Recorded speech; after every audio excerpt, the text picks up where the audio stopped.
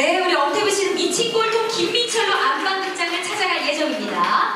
네, 조금만 뒤에 서주시겠습니까? 마크되어 있는 초록색 테이프 부분이 있거든요. 네, 감사합니다. 왼쪽부터 바라봐 주시고요.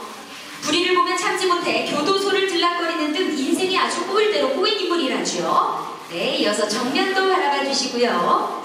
출소 직후 고향으로 돌아오지만 마을에 이상한 일이 생기고 있다는 것을 눈치채고 모두가 진짜라고 생각하는 헛된 믿음에 홀로 도전할 예정이라고 합니다. 네, 이어서 오른쪽 끝까지 주시길 바랍니다. 엄태구 씨가 그려낼 김민철이라는 인물이 어떻게 탄생하게 될까요? 너무나 궁금합니다. 네, 우리 엄태구 씨 지금 조금 긴장되시나요? 아, 예. 지금 손을 계속 쥐락펴락 하시는데 예, 우리 기자님들께 인사 한번 드리는 거 어떨까요? 네, 왼쪽부터. 네, 우리 김민철로 분할 엄태구 씨의 미친 연기 보여준 틀을 통해 꼭 확인해 주시길 바랍니다. 역시 정면 바라봐 주시고요. 네. 자, 첫 주연을 맡은 작품이라 아무래도 긴장도 되고 어깨도 무거우실 것 같습니다. 네, 오른쪽 끝까지 바라봐 주시고요.